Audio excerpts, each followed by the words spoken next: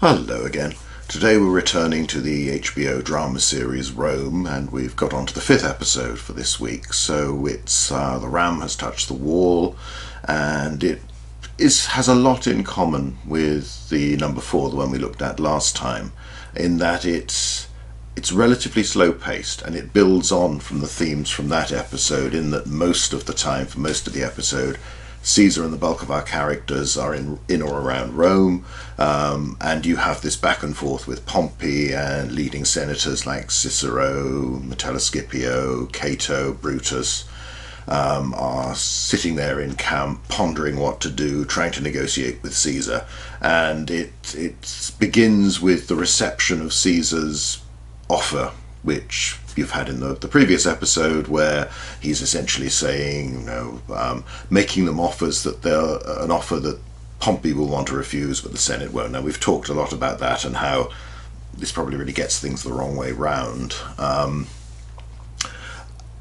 I think it has the same sort of strengths and weaknesses as the previous episode. It's perhaps a little bit more um, dramatic from the point of view of the character development. More happens, more comes to a head at this point, but it's it's very similar, and it is one of those episodes that suffers a little bit because had the production team and the writers and everyone got to make the much longer succession of series, whether it's three or whether it's five, there are various rumours as to how many they wanted, but everything covered in much more detail rather than the second series having to rush through an awful lot and cover about 14 years.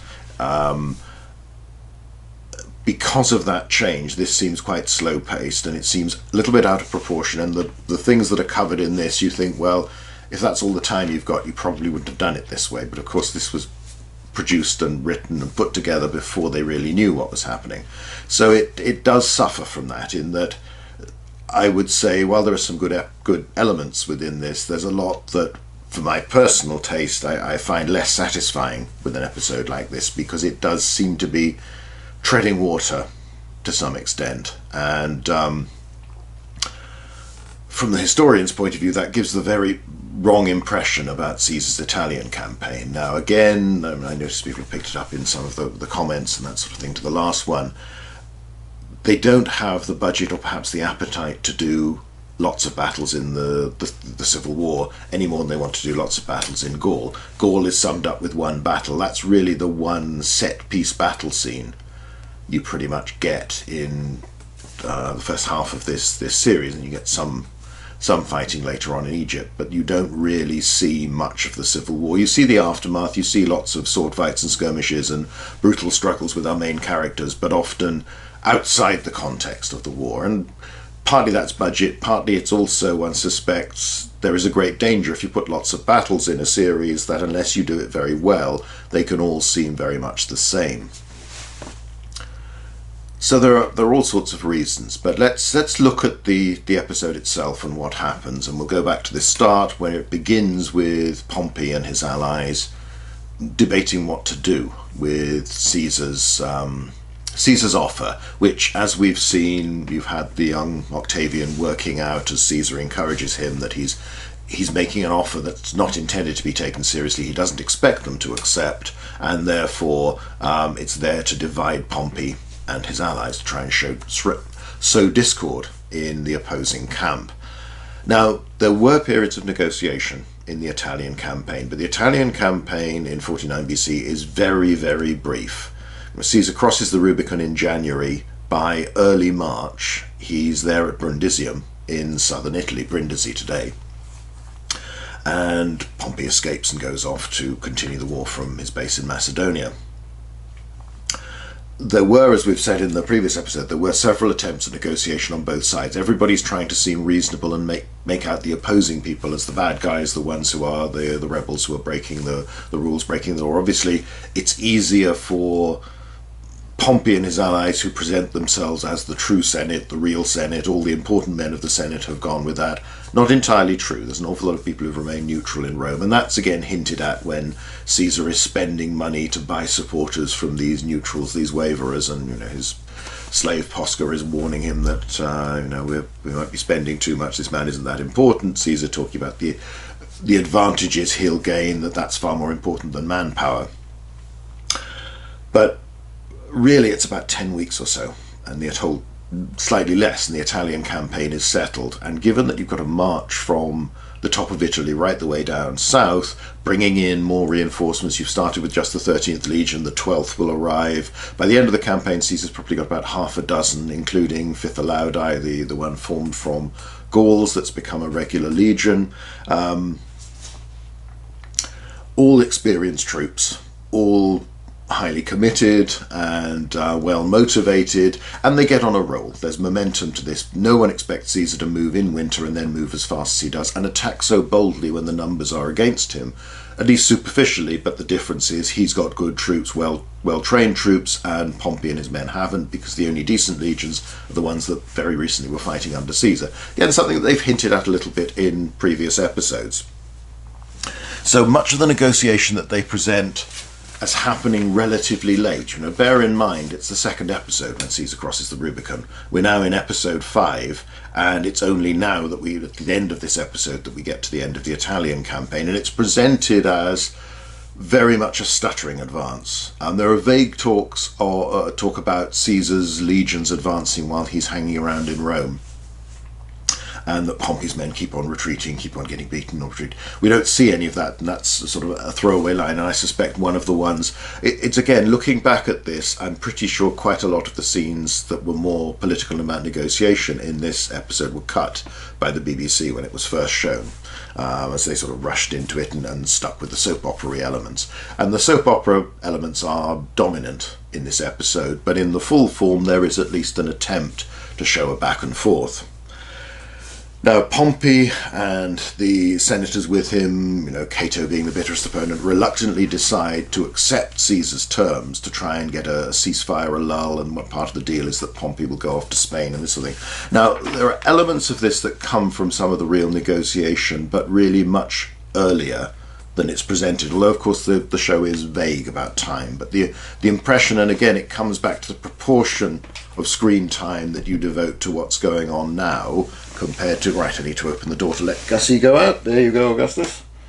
Right, he's obviously decided to go for one of his, morning strolls, having uh, sat beside me, staring at me. To um, he's clearly decided there's there's not much. There you go. You might just hear him in the background giving a call out.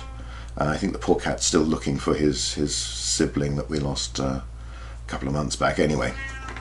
Yes, Gussie. So I apologise for the cat noises that may be picked up on the microphone, but um, there's not much I can do about that. That the poor thing. He's already been fussed a lot this morning, and uh, there we go. Anyway, if we look back to January and late January, and curious enough, uh, a letter Cicero wrote on well, what would after the Julian reform of the calendar become my birthday. Um, he's writes and says that terms were accepted with the proviso that Caesar must at once withdraw all the garrisons from the towns when, which he'd occupied outside his province. Once he'd done that, they replied that we should return to the city and settle the matter in the Senate. I hope all present that it will be possible for us to have peace, for one leader regrets his rash folly and the other his lack of forces. And that's essentially the, the truth of the situation there expressed by the real Cicero in 40, 49 BC that Pompey's botched things. Both have miscalculated. Caesar's a little bit surprised that the other side are willing to fight. On the other hand, Pompey's trying to fight without the resources to do it, so he's in serious trouble. So that's in January, just a couple of weeks after the Rubicon.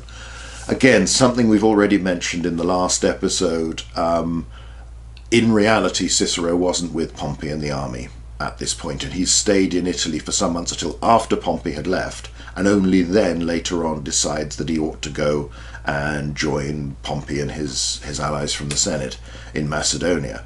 And Cicero really he stays out of Rome because he's still got imperium, the right to military command, because he's just come back from his province in Cilicia, and he was hoping for a triumph, which of course has all gone out the window because people are too preoccupied with uh, this civil war breaking out. Um, but uh, he actually stays in one of his country villas, and it's interesting that later on in this episode he talks to Brutus on screen and suggests, "So oh, I think I might slope off and just just live quietly in the country, and you're welcome to come with me." Um, that's in fact what Cicero was doing. In reality, he's not there now. I can understand the need to have a character you recognise, an important character playing a role at this stage, and it's quite a nice little exchange because Brutus says, "No, I can't do that." Um, you know, uh, and then suggests to Cicero, it's fine for you to do it. I'm sure your reputation will survive. People will know you're, you're doing this for honourable reasons. At which point Cicero points out, you get the sort of hint that he's the new man. Um, you know, it's all right for you. You're from an established family, a big reputation. I can't afford to damage damage my um, my status, my honour, my reputation in any way. It's it's nice. I like little bits like that. The throwing in that are reflecting something of the reality. So even though it happens completely out of chronological sense, um, nevertheless, it's nice they put that in. Um, you get other negotiations that um, Caesar's the letters go with his offer, and then Caesar says he's asked to go back to Gaul, abandon Ariminum, and disband his forces. And he describes this in his own account as an unfair deal. And Pompey promises to go off to his provinces in Spain, but they don't give any date for when he's going to do that. So in the show, they have Pompey sends back a letter saying, I'll accept this offer um, to Caesar's surprise. So Caesar is then stunned, amazed, and he's talking with Mark Antony and Posca. And, you know, what are we supposed to do? This is damaging politically if I say no. I've suggested peace. I can't go back on that without some excuse. Posca notes the pretext that Pompey refuses to meet Caesar in person and then Caesar, and you sort of see him as a politician building up how he'll express his utter shock and horror that. Um, and the insult implied by this that Pompey won't meet him, won't talk to him, and that shows the bad faith on their part. And it, it, it's quite nicely done. It's not actually a reflection of the of the real debate. The bigger question is, you know, Pompey saying, "Well, I'll go off to Spain, but I won't tell you when."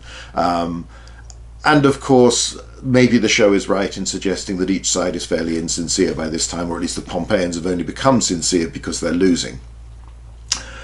But it's it's very prolonged. You've had bits of negotiation for several episodes, and um, from Caesar's point of view as well, you could understand his perspective, saying, "Well, let's settle all this in the Senate." Well, they've had well over a year before the Civil War has started to settle this matter in the Senate, and it hasn't worked out. Um, his opponents are strong enough to um, be harsher to him than they are to Pompey, and although there seems to be a majority in favour of, you know, both disarming, let's avoid civil war, let's have peace, those aren't the critical people, the really important, prestigious ones, and there's a and the, those are so determined that they're not going to give in. So you come back to this stubbornness, this, this bloody mindedness, basically on both sides, that neither is going to back down. Um, so this is quite interesting, but it's it's partly a background. They've obviously decided within the story they want to have Caesar in Rome, they want to have Servilia and Attia involved, and then at the same time they can run parallel threads with Pullo and Vorenus, to some extent involving Octavian and others, and Vorenus and his domestic problems. Um, so everybody's together, and I can see the convenience of this from a narrative point of view. But as I say, it's artificial because Caesar didn't hang around in Rome he um, reaches Brundisium by the 8th of March, having you know, crossed the Rubicon in the second week in January. Um, that's a long time, and he's fought a few actions on the way. And when he gets to Brundisium, there is some rearguard action as the Pompeians are trying to cover their withdrawal. There's an attempt to build a mole out to um, cut them off. But whereas you keep seeing that one of the, the you know the themes emphasised in this show is Pompey looking out to sea and others looking out to sea, and it's an empty sea. Um, you know, they're just on a beach. They're not in a port. There's just there's nothing there. There's no ships. And again, may well be a budget thing. You have quite a nice background of, as you've done several times in the show, of a sort of Roman camp, stylized, but okay. You know, it suggests the numbers that they don't really have in terms of extras. It does it nicely. Um, Pompey, of course, has been gathering ships from fairly early on. He's made the decision to leave Italy quite quite early in this campaign by a basically a pragmatic calculation that look I haven't got enough troops of good enough quality and that I can uh, can be relied upon to face and defeat Caesar here, and he will go off to Macedonia to mass his forces there, ready to return, uh, uh, or waiting for Caesar, essentially. Or, you know, the, the famous quote was, Sulla potuit ego non potero. Sulla did it, why can't I? That's that effect. Um, and he will go off and wait for Caesar in uh, Macedonia, in um, Greece, drawing upon his connections throughout the eastern provinces of the Mediterranean of the Roman Republic's empire that um, he's reorganized so recently back in the 60s. So he's appointed most of the dynasts around there. That's why people like Cleopatra send aid to him, as does everybody else from the area. So you know, on the whole, this area obeys Pompey, sees him as the legitimate Roman leader, and sends the troops, sends the money, sends the food, sends the ships, sends all the things that he asks for. And then the other um, factor, obviously, is that he's there in Greece with a big army. You probably don't want to upset him. And again, Caesar is seen as the underdog for um, the the first year or so of the civil war, really, until till Pharsalus and that campaign. There's still the perception that Pompey's probably going to win in the end because it's Pompey and because the resources are on his side. So we get that staring out to sea, but we don't get any hint of the fighting. We don't really see any ships. We don't. Um, it's it's it's rather drawn out, and as I say, that comes back to the the starting point that because the whole pacing of the story was changed fundamentally when they they cut the thing short. It makes these episodes not quite work within the balance of the overall two series of the show as it became. Um, they seem a bit slower. They, they've drawn out this bit of, as I say, what's just a, a, few months, and then they're going to rush through the rest of the Civil War in about the same time. So it, it's a um, part of the part of the reason it doesn't quite work are factors beyond the control of the people making it, and it still has its interesting points. But the big theme of this episode really, you know, it's, it's a background going on. It's providing the sort of framework. It's the negotiations with. Um, with Pompey and his allies, and between them and Caesar. Now, Caesar is there in Rome, and you see Caesar renewing his love with Servilia, and it's very much, you know, it, the, the, early scenes, they're quite charming. There's a sort of sense of almost, you know, teenagers hugely in love with, with each other, even though these are middle aged people. Um, and it's all about romance and devotion and love. It's not about politics at all, and you don't get any discussion of, oh, well, you know, your son's off there uh, fighting against me. Um, Attia becomes jealous of this, so it's setting up the the Attia Servilia rivalry, which is a big, big theme um, in the show.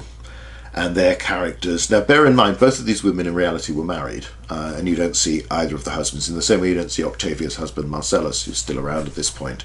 Um, you don't see uh, Marcus Philippus, um, Attia's second husband, because she remarried within a year or so of um, the death of Octavian and Octavia's father, um, Gaius Octavius, as was normal for an aristocratic woman who's still young enough, as you know, still able to breed more children, but also very useful as a, a political connection.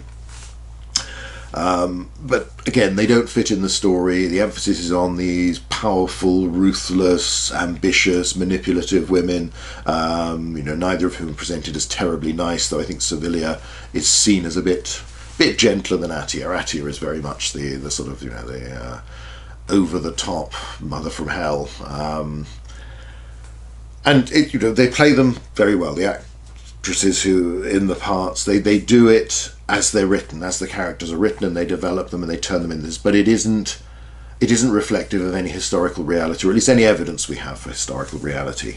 So Attia gets um, we don't see it happen, but we learn afterwards that um, the the Jewish horse trader that he she deals with and uses as an agent, he gets people to go out and paint obscene graffiti about Caesar and Servilia on various walls where they'll be seen, and um, you'll Caesar is walking through the city with Calpurnia being pulled in a litter, uh, sorry, carried behind him in a litter, and she starts to see these, gets deeply offended, and Attia has decided that Servilia is becoming too close to Caesar while she is losing influence because um, he's refusing her invitations to go to dinner. She has come again, it's from the last episode, this misapprehension that um, Octavian has been having an affair with Caesar um, because of the, the mistake over Caesar having an epileptic fit and all this sort of thing. And that's a disappointment. She thought she had some political leverage there. Um, it's it's she moves very quickly from you know this is fine and then to oh no I'm worried about this Caesar should be off fighting. Mark Antony is of course telling her that Caesar shouldn't be hanging around and she's got this ongoing affair with him. Again not the slightest shred of evidence for that and, and Antony at the time is more famous particularly afterwards for his um, his main mistress was an actress. Um, and she figures she figures too publicly for what's considered to be proper behaviour in the, the months and years where he's left effectively as Caesar's man in Rome and in Italy. Um, which would have been interesting, but I can see it's another whole character, and it's, it's you know it's a path they didn't want to take. They've simplified things. They want their cast. It's quite a big cast, really, but they want to focus on keeping things understandable, which clearly works. Calpurnia is horrified. She threatens to divorce Caesar um, unless he ends things with Servilia. Um, Caesar then goes and ends things with Servilia. There's a particularly nasty scene where they argue, and then he he slaps her first, then hits her quite hard a couple of times. Um, again, you know, this is all fantasy. It, it's it's nasty, and it's part of. You briefly see a sort of fairly nice Caesar in the early scenes with Servilia.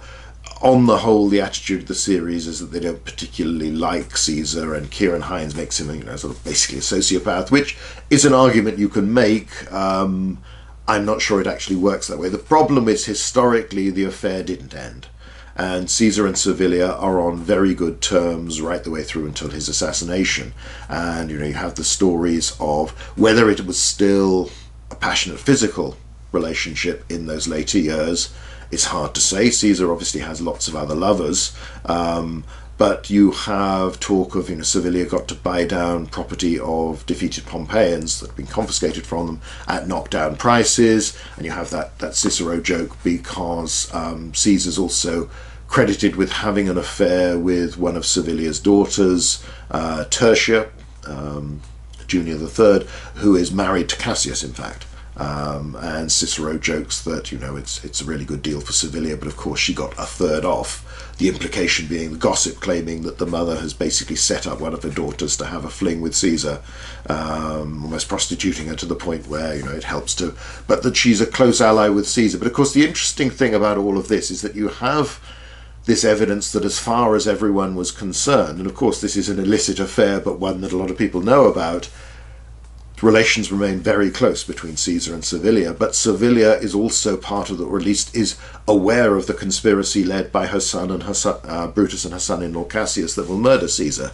So in many respects, there's actually a more interesting dynamic going on there that emphasizes the the keen politician and the ambitious individual within Servilia. And one of the reasons one suspects why Caesar found her so attractive was that she was fiercely intelligent, knowledgeable, savvy, and ruthless politically, just like Caesar and just like Cleopatra. These are women who feel that shared a lot more with him in common. It's not just physical attraction, I'm sure that's there as well.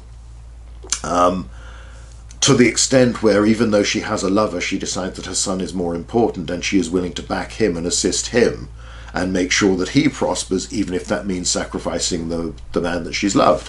Um, now, how you would write that, you would present that at a different time, and of course, the conspiracy itself doesn't get quite so much um, screen time and development time as it could have done, but again, it's a question of, of, priorities of how the the series is structured, and because obviously this first series has got to include Cleopatra and all sorts of other stuff as well. There's a lot that goes on. So you have um, this, as I say, nasty scene where Caesar um, rejects Servilia and says, I'm not coming back, having previously in this very tender moment promised that he'd never leave her again and all this sort of thing. Um, their relationship is made entirely one of personal passion. There's no political element to it. Um, although they talk a little bit while they're playing a game um, of sort of, you know, should I be ruthless, should I be not, should I give mercy, all this sort of thing. there's an element, but it, it's the way it's done. Um, so Attia gets away. Attia's won a victory over her rival Servilia. Um, again, this is this is the it's one of the assumptions, one of the basis of the series of these these two strong, ruthless women competing with each other. Um, you then have um, a scene where several things happen in the show because the other point of the episode is you've seen Vorenus's business plans all going pear shaped. So, you know, he's early on very confident in his money and then talks about these slaves that have been fattened up and are going to be sold, goes to the um, the slave trader and these sort of slave pens, these cages. Um, again, you know, there must have been some sort of some sort of means of keeping large numbers of slaves while waiting for sale, and finds out that all bar a small boy, all of his allocation of slaves from his Gallic plunder, they've all died. They've all caught a disease. Call it bloody flux or something like that, and they've all they've all died. Um, so you know, the fellow's still trying to still going to charge him for the food they've eaten in the meantime. So his business plans have been going badly. His security of this sort of you know an investment basically that's all now gone, and um, he for a while goes and meets up with the gangster, the fellow we've seen before, and is hired by him as you know he doesn't quite realize he's can't quite understand or is reluctant to believe that he's basically just as a as a hitman, as a thug. Um, and you know they go in and they're they're threatening some um, group of presumably Indian traders. They're describes one of them as a Hindu and all this sort of thing. Again, certainly not impossible in Rome, though probably more common a century or so later.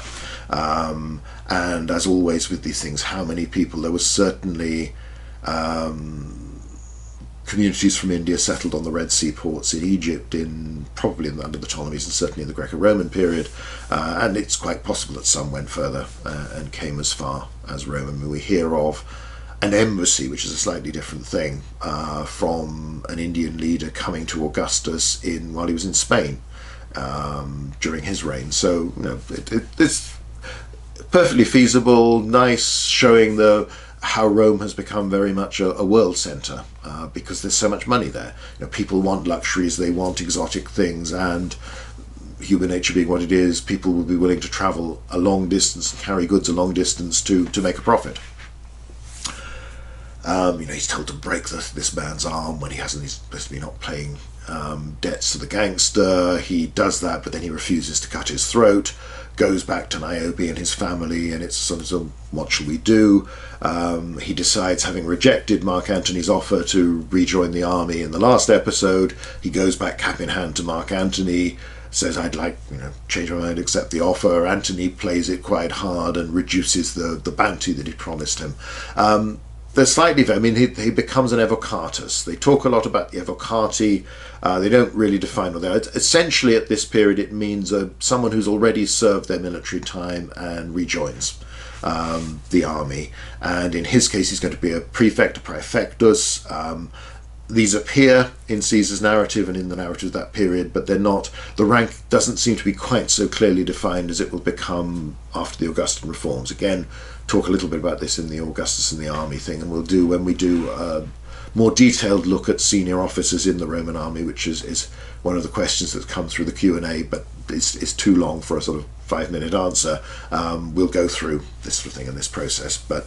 Um, so it, it's based on something. They get a bit sloppy at one point. You know, you're now you're now evocati. Well, you you know, again, it's it's probably uh, having been influenced by Latin teachers at a um, a vulnerable age. It should be evocatus, obviously, if it's singular. Um, they use it as slightly more defined and precise than than perhaps we understand how it's used in this term. But fair enough. He goes back as a, a senior rank under the empire. If you'd been a former primus pilus, as they you know, keep seeing his form first spear centurion, you would automatically become an equestrian. Um, they don't deal with that at this point, but there are developments later on with Vorenus.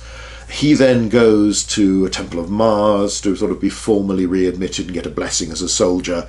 Uh, and there's a whole sequence of religious elements at this point that's quite nicely done. And one thing, while they don't always 100% stick to the facts of what's probably going on, it's nice that they put this religious, this ritual element into the story to give it a flavour of a different world. But because these things were so fundamental, they were everywhere in the ancient world. You know, almost anything you did, there would be some ritual component.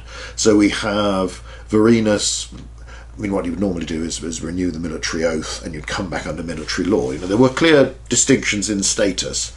Um, there's an interesting anecdote about the elder Cato when his son in the second century BC wants to join us another campaign, having already fought with one army, and you know the Cato is supposed to question, well, make sure you do this legally, that you, you you're actually um, enrolled as a soldier again formally so that you can fight and kill on behalf of the Republic um, because it would be an impiety, it would, it would, be questionably legal if you just turn up as a volunteer and, and fight because you feel like it without sort of checking, making the both the the, the legal and the spiritual paperwork, making sure that's in order.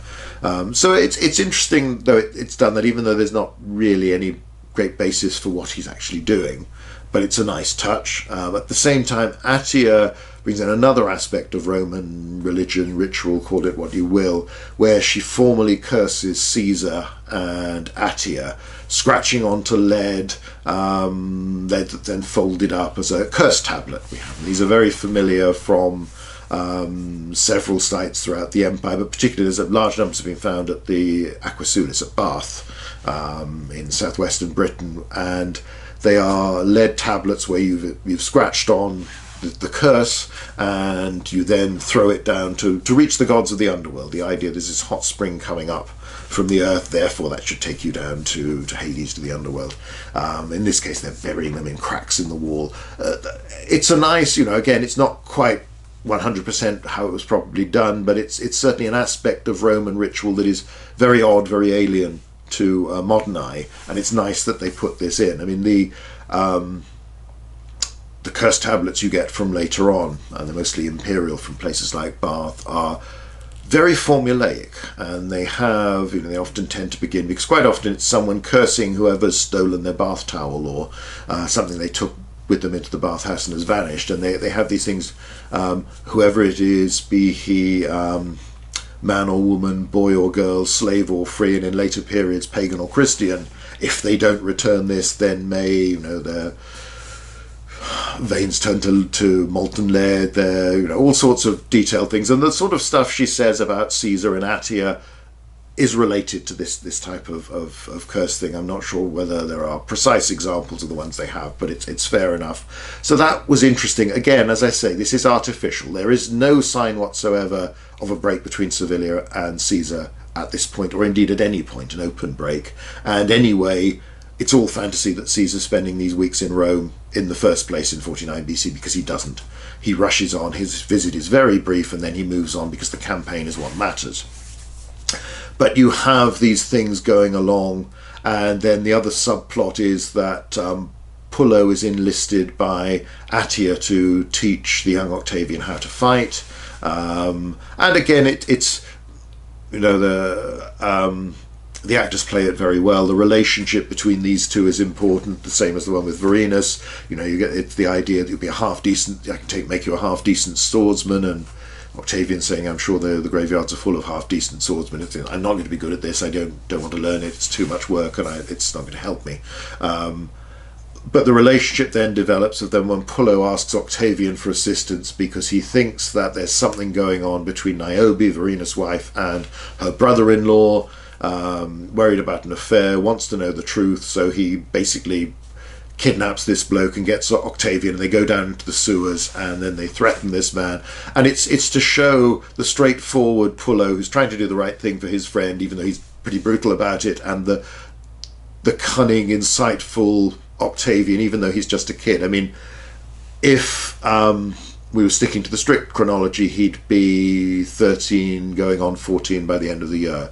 At this point, obviously, you can't expect one actor to age at the pace of reality. So he's still, but the idea is, you know, this is still someone who's not yet come to formal manhood uh, by Roman standards, and yet he's, you know, this chap answers, babbles out, Pullo's satisfied. Octavius said, "No, you're lying," um, and you know, they, they, it's it's very ruthless. It's all this. Well, you're going to die. Do you want to die quickly, or should we make you suffer and torture you? Um, with that black humour of, you know, Octavian tells Pullo to get on with and says, well, I've never tortured anybody, I don't know what to do. And they have this back and forth, oh, well, let's, let's cut off his thumbs. Um, in a grim way, it's humorous. Um, and it, it, it develops the characters. It's, of course, complete fantasy. Um, and it's part of this, you know, the back the, the subplot for Vorenus that will build up and of course this has big implications for one of the later episodes near the end of the series uh, which we can, can deal with at that point so it's setting up one aspect of all of this, and it's understandable with this sort of show, is that all the big politics, or a great deal of them, are made to depend around personal um, sort of backstories, personal events, ambitions. So Caesar's been slacking off in his campaign against Pompey and could already have defeated him, according to Mark Antony, because he wants to spend time with Servilia because he's in love with her and it makes she makes him happy. And then he's humiliated by Atia, and the threat from Calpurnia makes him repudiate Servilia, go off and chase Pompey down. Um, you know, it, it's it's it's fantasy while I am sure, and in spite of the instinctive reluctance of any historian to believe this, many of the great events of history have probably hinged upon the personal emotions of an individual or, you know, somebody feeling ill that day or just throwing a, a tantrum or a temper and uh, this sort of thing in the same way that you can clearly see the you know, shenanigans of many modern politicians have so much to do with personal rivalries, likes, dislikes, dirty linen in the closet, all this sort of thing this is pushed to an extreme in this show. So the Civil War becomes very much about these these personal things the historian in me would like something else, would like more of the politics, more of the warfare. I understand why they do this, and for many people it'll just work as a drama. So it's it's all contrived, but you're building up the characters to how they will play out, and clearly. Given that Octavian turning into Augustus was going to be the big theme of this sort of great sweeping um, succession of series they were planning, and that doesn't fully happen, it's the idea of trying to show. I mean, I think um, it's fine and it's very well played by the cast, uh, but it is this is all fiction. You know, this this this this is imagination, and as I, have mentioned before, some of the sort of subplots with um, Vorenus and Niobe is just. I'd like them to be talking about other things. Uh, the same with many of the subplots with Atia and Servilia as they develop. I'd prefer to see what else was going on, but that's not the focus of the show. That's not their choice, and it's you know it's their right to do what they want. So you end up with the civil war resuming. Caesar tells Mark Antony, right, we're marching tomorrow, but you're staying here, you're going to govern Rome for me. Now that's what he really did. Mark Antony doesn't have much of a military role in uh, most of the civil war.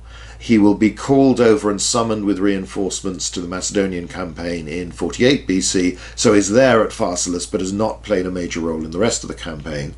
And then after that, he doesn't serve again in the field until Spain in 45 BC. Uh, again, one day we'll do some talks on Mark Antony the soldier and his military record because it's it's interesting because it isn't what people expect. It isn't the stereotype of this, you know, tough military man who's very good at fighting because actually he doesn't do a lot of it and he's not terribly good at it. Um, but anyway, that's that's history and that's for another day. This is about the drama series. Caesar arrives to find Pompey's camp burned and Pompey gone off to Macedonia. As I say, not quite what happened in reality. He does catch Pompey before he leaves, but he isn't, isn't able to stop him from leaving. But again, from the point of view of drama, you've got the point across. Pompey has now gone over the sea to Macedonia, to Greece. Um, you then have it's it's stuff they don't really have time for. Caesar will then very quickly head off to Spain, so he doesn't spend much time in Rome or Italy at all in 49 BC because Pompey has eight or so legions plus auxiliaries in the Spanish provinces that have been allocated to him by the Senate, and these are fairly well trained and experienced troops, and they're obviously a significant force. So Caesar chooses to face them partly because they're important, but also because Pompey has gathered up all the shipping to transport his own army across the Adriatic to Macedonia and also to deny it to Caesar, so other stuff's being destroyed. So Caesar does not have the capacity to follow Pompey and chase him over to Greece straight away. That's going to take many months to assemble a new fleet, and even then he has to go in, in detachments across the Adriatic, which leads on to the, the difficult campaign and the fighting around Dyrrhachium, the port there, and then eventually when Caesar breaks away and is chased and will lead up to the, the Pharsalus campaign. So that's all to come, but of course, again, the show has made sure that Antony and the 13th stay at Rome, which means we've still got Antony there with Atia, with Octavian, with Octavia, with Servilia. We've got Pullo and Vorenus are there with all their um, issues of one sort or another, Pullo and his slave girl, and um, and Niobe, to build onto things. Again, it's this is not a show that can do the Civil War in any detail, or perhaps even wants to, but it's the, those are the choices. It's about the sort of home front, if you can use an anachronistic expression, and the characters and the the soap opera at times almost gangstery element about this um, these characters and their relationships. That's what they want to do, and obviously that allows them to give a more prominent role to the female characters like Atia, Servilia, Niobe, Octavia in due course. Um, but it makes it like any other soap opera, just with a setting in the ancient world. It, it's that sort of thing, and they have to contrive these dramatic twists, turns, passions, love, hatred, betrayal, all this sort of thing. That's what it's about. That's what the storylines will be about in a Roman setting. And everything else is background, really, is context. And again, that's fine if you know that's what they want to do. And it obviously, you know, there are elements of where it's done very well. Um, once again, for my personal um, taste. I would like more about the Civil War and the politics and that sort of thing, but I can understand why they're not doing that. And you can't blame a series for not being what you'd like it to be. It is what it is, it is itself. Um, so, again, it's an. One thing before we go the, the title of the series, The Ram Has Touched the Wall. Um, it's you know it's an interesting. They don't really talk about it in the episode, but the idea was that um, you will often read there was a Roman convention, even a law. It's claimed that once the battering ram had touched the defences, the wall of a besieged city, town, or fortress, that from then on there'd be no quarter. The defenders would not be, be able to surrender and be given any rights at all. It's based on, there's a, a little bit in Caesar's commentaries, doesn't quite say this directly, and then in Cicero, again, refers to this. They're both quite rhetorical. Although at times people have built this up to a regulation, obviously from the point of view of the attacker, sieges are very dangerous. They're very consume uh, costly in terms of time. You consume a lot of food. You concentrate your army outside this um, fortress, town, whatever it might be concentrating lots of people, keeping them there for a long time makes it harder to supply them, risks the spread of disease, all of these things. And then an assault, if you batter a, a, breach in the wall and you've got to charge up through it, that's dangerous, that's likely to be costly in lives, particularly if you're, you're bolder soldiers, your leaders. So you want to avoid that if you can. So there's an element of threatening towns, and you'll see this. We talked about a little bit in the video on sieges um, a while back, where you there's a lot of bluster, posturing, display, and threats made by the attackers to try and persuade the defenders to give in. And there is this perception that if the sooner you give in, the better terms you're likely to get. The more trouble you put the attacker to, then because they don't want the next city to do the same to them, they're trying to deter them. So there are there are times when you have the object lesson that if you oppose me, sorry, that's it. There's no quarter. We will slaughter all the men and enslave everybody else. Um, or in some extreme case, you know, Avaricum, Caesar's men pretty much run amok and kill everybody. Um, so it isn't actually as fixed a rule or a law as people have, have tended to suggest. It, it's much vaguer. It's one of a sort of rule of thumb, perhaps, um, and it's partly used as a negotiating practice, whether it's being used rhetorically by an orator or whether it's in the context of negotiation, saying, "Look, if you don't quit now, why should I give you any terms? You know, you won't you won't get a second chance." But actually, when we look through the narratives of sieges, then people can pretty much surrender at any time, and they probably will get less. But the um, as far as the attacker's concerned, in most cases, you just want them to surrender. You want to get this over with as quickly as possible and at least cost to yourself. Um, they don't push this in the series. They don't suggest that you know there's no quarter now for Pompey or for Caesar now that the civil war has started. Um, I just thought a little little mention because that's the the title. So anyway, episode five quite similar to episode four in many respects in that it's. Um, very much character development. Uh, it's rather artificially concentrating everybody in Rome. It doesn't follow the, the, history very closely, but it's all about showing the rivalries, the passions, the soap opera elements between our main characters. And um, it's a little bit more happens than in episode four, but it's still to some extent sort of a bridging episode to go on, but it ends with Caesar leaving Rome. So for a while, Caesar will be removed from the mix of our characters, but nearly everybody else is still there. Um, so that's it for today. That's um, HBO's Rome episode 5. And um, next time, I think next time, this should probably be video 99, and next time we'll be on the 100th, so that will be the, the Q&A Probably the first of those because we've had lots of questions come in and I don't think there'll be time to do all of them. So I'll, I'll take a dozen or so, or baker's dozen maybe, um, or perhaps some where there are some that are similar to each other or on a theme that I can perhaps talk about. But that'll aim to be up next week and probably there'll be enough questions left over that we will we'll do another one of these maybe next month or something like that and we'll answer some of those.